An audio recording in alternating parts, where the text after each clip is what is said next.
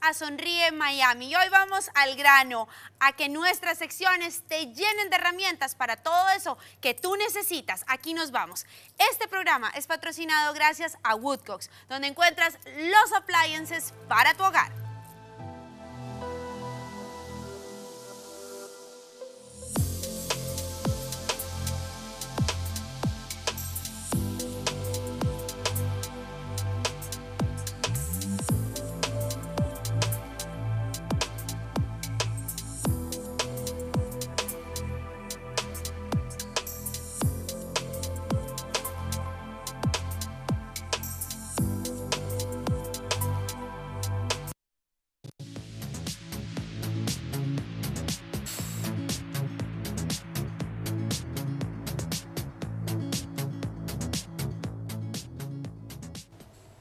Bueno, y mente positiva, tener la mente siempre ayudándonos, siempre proactiva.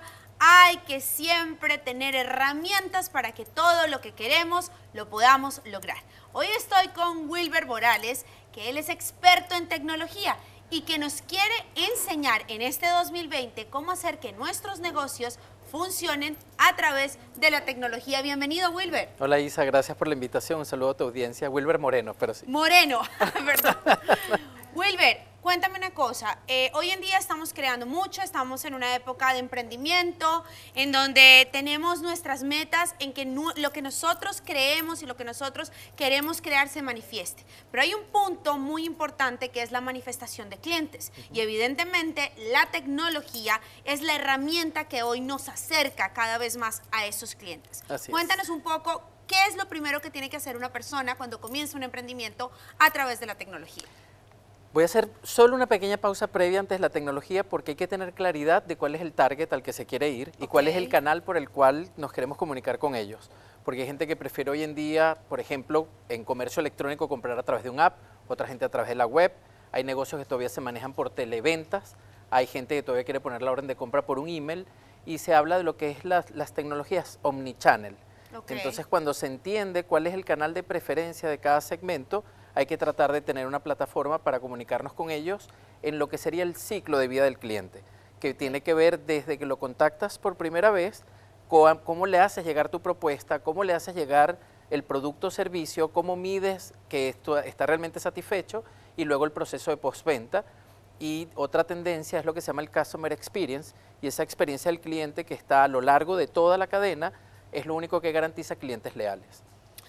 ¿Y cómo hace una persona? ¿Cuál es esa primera herramienta que tiene Bien. que utilizar una persona para entrar en el target que de todo lo que tiene que ver con el mundo online?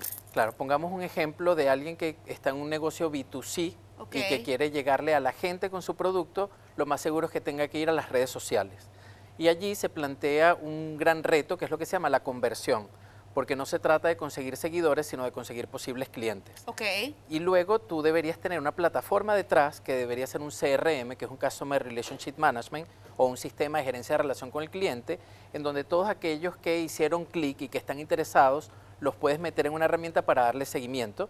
Deberías tener un e-commerce que podría o no estar integrado a esa red social para que puedas convertir eso en una venta efectiva o tener a alguien que luego le está dando seguimiento con herramientas que hay- se llaman retargeting para que le siga apareciendo tu producto en las redes sociales o para que tú tengas un proceso de mercadeo que le sigue presentando y dándole a conocer tu producto.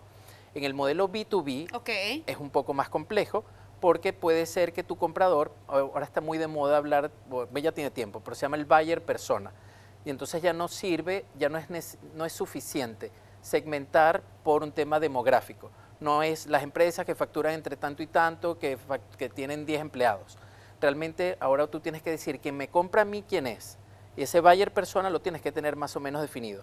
Entonces es una persona joven, emprendedora, que está lanzando un negocio, o es una persona de la tercera edad que le está pasando el negocio a la segunda generación, o es una persona de media edad, 50 años, que antes era empleado y este es su primer emprendimiento, y en cada caso lo que lo motiva a comprar es un tema distinto. Entonces, en la medida que tú vas posicionando el mensaje de manera clara, sabes cómo realmente lo estás atendiendo y tienes que garantizar que la forma en que estás describiendo tu producto y servicio va a satisfacer eso. Eso luego en qué redunda. vuelves otra vez a lo mismo. Tienes que tener una plataforma de gerencia de relación con el cliente, que hay muchas, en donde si tienes a vendedores en la calle deberían tener un sistema de fuerza de venta móvil, en donde toman el pedido para que no lo anoten a mano y tengan que llegar de noche a escribirlo. Y eso acelera toda la cadena de que garantizas que esos pedidos están en el sistema para ser entregados. Wilber, tú tienes toda una plataforma creada para apoyar a los negocios y además eh, eres coach. Entonces, me gustaría que le dejaras a las personas tu información, porque definitivamente tener una herramienta como la tuya, tener una persona en una compañía como tú, es fundamental a la hora de la conversión de clientes y la monetización de tu negocio. Por favor, dile a las personas dónde te pueden conseguir. Claro, mi nombre es Wilbert Moreno, mi Instagram es Wilbert Moreno Ramos, en Facebook es Wilbert Moreno Ramos y soy socio fundador de una empresa que se llama Celeritech.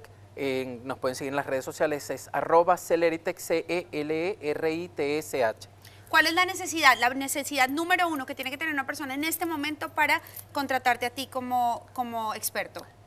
Querer tener una visión de lo dónde quiere llegar, este, querer diferenciarse, querer crecer, querer hacerlo bien, no querer dedicarle su tiempo a las actividades de poco valor agregado como estar retranscribiendo datos entre distintos sistemas, tener la, necesidad de aprender de que se puede hacer todo de mejor manera con un sistema integrado y no armando un Frankenstein. O sea, es lógico pensar que cuando se inicia no se tiene suficiente presupuesto y puedes comenzar aquí en Estados Unidos con QuickBooks, pero llevas los sistemas en el CRM y comienzas a vender por Amazon y estás todo el día retranscribiendo datos, comienzas a no despachar a tiempo, a no cobrar y deberías pensar en tener un sistema eh, que te haga todo eso. Claro. Wilber, muchísimas gracias por haber estado aquí en Sonríe Miami con este aporte tan necesario para los negocios de hoy, porque nosotros hoy en día, con todo lo que nos lleva a tener nuestra mente positiva, nos hace pensar que somos capaces de crear nuestros emprendimientos y cómo hacerlo de la mejor manera para que todo nos salga bien. Así que no se olviden, Wilber Moreno nos puede ayudar con todas las plataformas que él maneja. Muchísimas gracias. Muchísimas gracias, Isa, por la invitación. Gracias. どうぞ。